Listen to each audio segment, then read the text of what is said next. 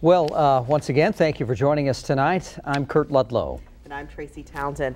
There was an investigation that started back in March. It was after Davina Clay was found dead in the basement of a home on Wildwood Avenue. You see the street there on the map. Tonight, her family is once again asking 10 TV to look for answers. 10 TV's Shelby Croft has the latest on the investigation.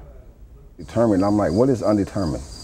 I mean, my daughter's dead, and you die from something. No closure, no healing. Questions are all Ricardo Clay has more than nine months after his daughter Davina was found dead in this Wildwood Avenue home. And all we want to know is who, what, and why. The autopsy report offers little in answers. It does list cause of death as asphyxia due to compression of the neck, but the coroner says she can't determine the how unless she has more information from police. I think somebody killed my child.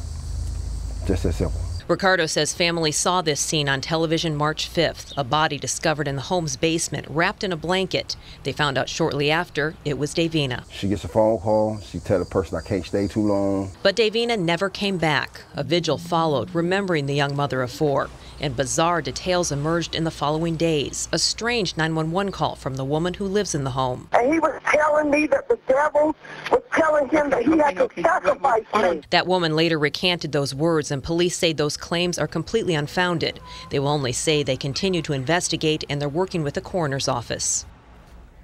And that was Shelby Croft reporting. Police did originally have a person of interest in this case, but no one has been named a suspect nor arrested in this case.